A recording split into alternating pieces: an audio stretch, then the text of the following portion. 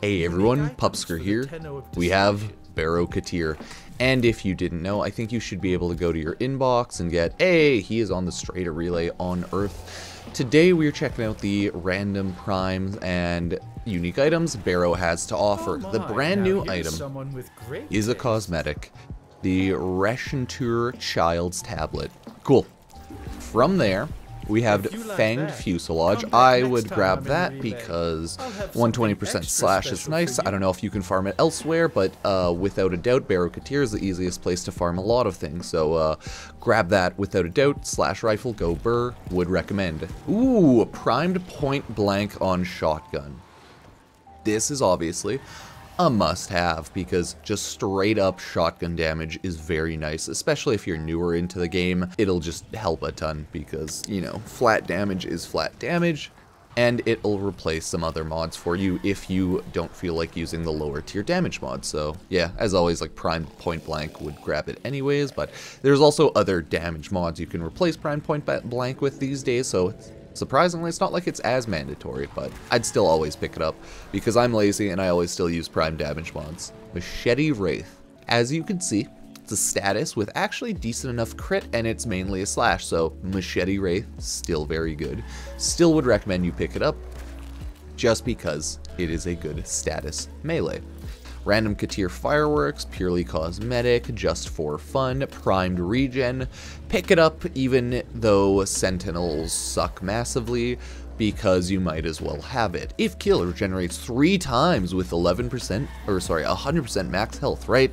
It's, it's something, and I really wish Warframe does something to fix the Sentinels and like Companions issue of just being useless or only really being there to just revive or mess around because there's too many companions that just kind of exist there for high level gameplay and you no one really cares about them but whatever. I think right now everyone's memeing Shade Prime because of Hildryn. Rip then we have Mark of the Beast on 6 melee kills within 6 seconds. Get a bunch of status and crit chance for your secondary weapon.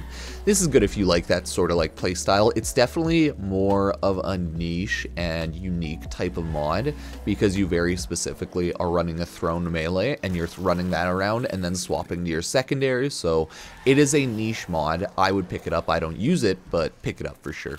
Next we have a Mantis Prisma skin, which is pretty nice we have the Ki'Teer earpieces, which are, you know, cosmetics, cosmetics.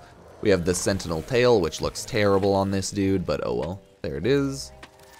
Neo 01 Relic. So they have the Volt Prime Relic out here. So you get Volt Prime Systems, Volt Prime Blueprint. Uh, do they have the other one? Uh, it looks like just that one. So this is the Dominus or Domus Syandana. I'm getting too mixed up with Dominus Thrax. There it is. Domus Syandana. I mean, I'd still pick it up. Next, we have the Tigris Elixir skin, and it still looks cool. Maybe a little weird, but still looks cool. Opticore Vandal. So this is really good. I would definitely grab the Opticore Vandal from Baro Ki'Teer as running the Fortuna like bounties for it. I can't remember what, what they're specifically called, the event bounties, right, for like the fishers. Yeah, that kind of sucks. So I would actually just pick up the Opticore Vandal here. As you can see the stats on the quick shot. Stats insanely high. Crit also really actually high, so not bad. Quick shot radial still really good, right? Stat is still 30%, uh, same sort of stats, same with charge shot. Damage just goes up a lot, so definitely would pick that up. Then you have another cosmetic landing craft. Cool, cool. You have your ornament here, which is, that's right, more decorations. Oh. And then we have the last like handful of stuff. Prisma Latrin shoulder plates. They look nice. I like them. You have the Latrin like chest plate, right? Because this kind of goes with this. And then you have the legs. Right? Look at that. Ah, you did it. The power of teamwork and friendship. God, I should go take a nap. Fast floof. Just kidding. I woke up only to make a Baro Ki'Teer video, and then I'll be playing Destiny 2 later as I watch people attempt and fail the raid. It'll be interesting. Fast floof. And then we have, ooh, dual sword. These are actually really cool, like dual sword skins, dual weapon skin. Dual sword Lemnis skin. I myself really like these swords. Yep, they're nice. And then you have the Gara Immortal skin. Eh, I don't really care about this one.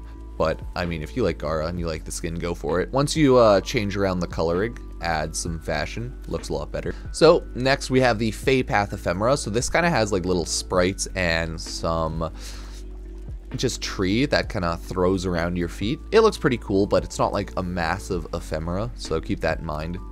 And then lastly, you have Sands of Inaros Blueprint, which, if you didn't know, that is a quest for you to do Inaro shenanigans. But, chat, if you didn't know, you can throw on Inaros Prime, and then you get special Baro Ki'Teer voice line, Great Inaros. and Welcome. Baro Void Signal. grow bad. Might we? This is just an optional mission for you to get like five cosmetic items and like some specters every week, but either way, thank you all for watching. I do appreciate it. I'm gonna be playing some Destiny 2 and Genshin until the Duviri Paradox update hits.